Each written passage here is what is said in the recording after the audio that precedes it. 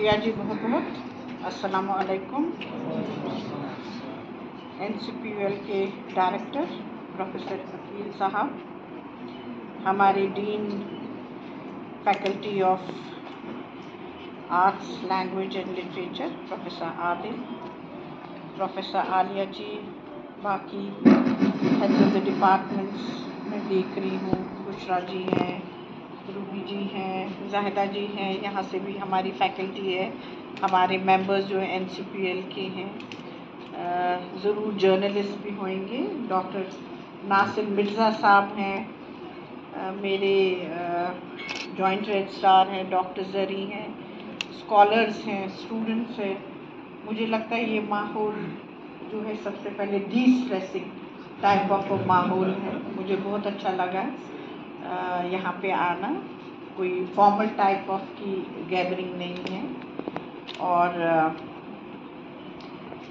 ज़रूर ये जो है आज का ये कैपेसिटी बिल्डिंग वर्कशॉप चार दिन का। इसकी तैयारी जो है प्रोफेसर अकील साहब और इनकी टीम हमारे बाकी जो टीचर्स हैं या डीन्स हैं या एडमिनिस्ट्रेशन के लोग हैं, हमारी यूनिवर्सिटी से ये दो या तीन दिन में प्रोग्राम फाइनलाइज नहीं हुआ। ये इनने काफ़ी मेहनत की।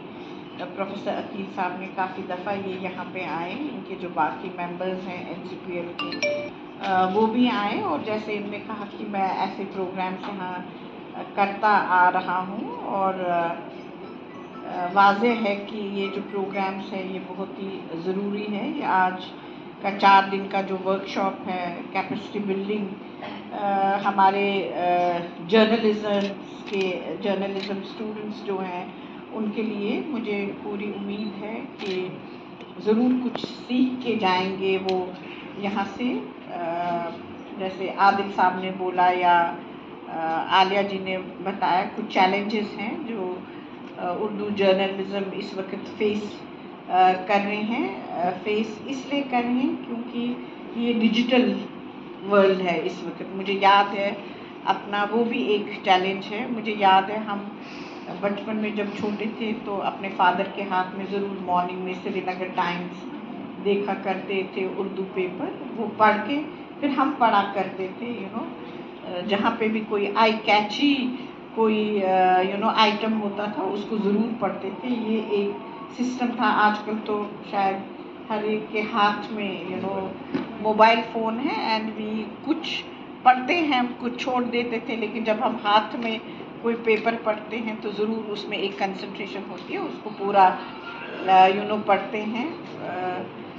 आई आई डोंट नो कि हम कैसे एज टीचर्स अपने जो स्टूडेंट्स हैं, उनमें ये कैसे इनकलकेट करें हम कि एक फिजिक फ़िज़िकल कॉपी भी अपने न्यूज़पेपर की होनी चाहिए, जो हम पढ़ेंगे। मैंने शेड्यूल देखा है इस चार दिन के वर्कशॉप का।